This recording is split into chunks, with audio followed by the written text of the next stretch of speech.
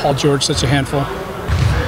Tall, uh, you know, wiry guy that can you know, seemingly do everything out there on the floor. I mean, you saw what he did after the All Star break. He was, uh, you know, one of one of the top players in the league, especially from that small forward position. He's he's so tough to guard. Uh, you know, it doesn't matter if he's shooting turnaround Jays, coming off pick and rolls, transition threes, getting to the basket. I mean, he just gives you a little bit of everything while while playing the other end uh, just as hard and just as well. How impactful can a guy like Paul George be, and how cognizant do you have to be going into a series like this? Uh, we got to be very aware, you know, of him. We know, you know he's going to score his points because he's a great player, but we got to do a good job of checking out all the other guys. You know, C.J. Miles and you know Monta and Aaron Brooks. You know those Lance Stephenson. We got to try to take those guys out of the game and out of the series.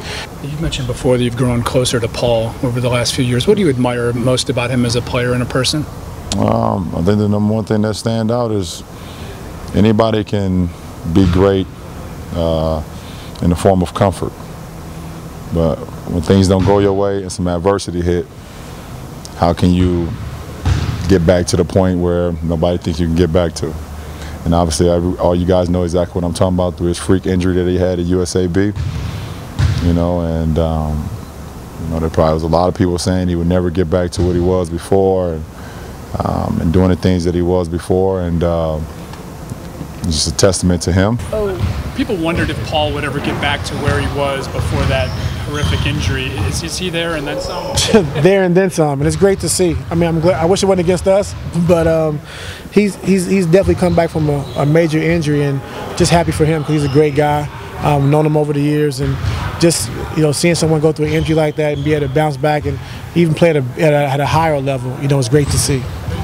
Uh, you know, it just shows you how resilient he is. Uh, he, he's one of the guys that um, you know, it's tough to say you expect that from anybody, but you know, the, the, the effort he puts into the game, the way he works is, uh, you know, there's very few like him. Um, we just got to make it tough on him, you know, and um, show him different things, um, different schemes, throw different people at him, and then just try to take those other guys away.